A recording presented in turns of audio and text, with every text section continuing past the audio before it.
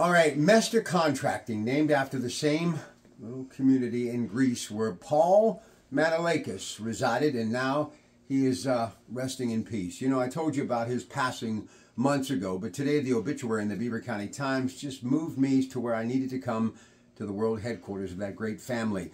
As you can see, the thing about Mr. Mandalakas that I will always appreciate and love was every little thing mattered in life, a life well lived, an incredible journey.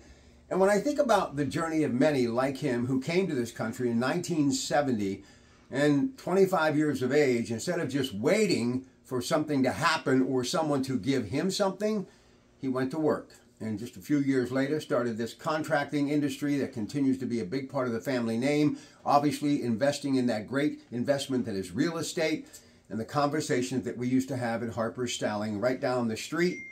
It is life changing conversations as far as yours truly is concerned. Little things that I call upon every day in my life. And whenever I would see him pedaling past my house on Atlantic Avenue, I just knew, like him, I had to keep moving forward. Yes, he is gone. His memory will live on, but he is now back in that place that he loved so much. But he dared to dream as a young man to come here across the Atlantic to make his life for his family better. And he has done that. And there is no better shining example than the Mandalakas family as far as what they have been able to do and they're keeping that entrepreneurial spirit alive. You know, I talk about being the salt of the earth and the best of the best. Well, there is a reason why my recipe for success has been so sweet and so satisfying because of meeting people like Paul Mandalakas and his children, and yes, even a grandchild today.